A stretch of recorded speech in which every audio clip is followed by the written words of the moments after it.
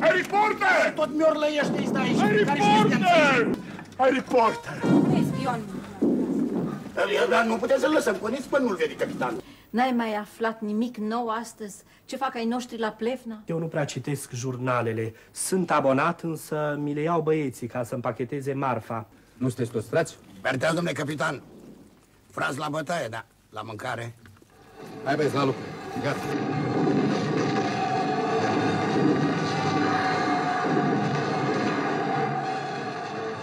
Tu ești într-un fel șeful familiei.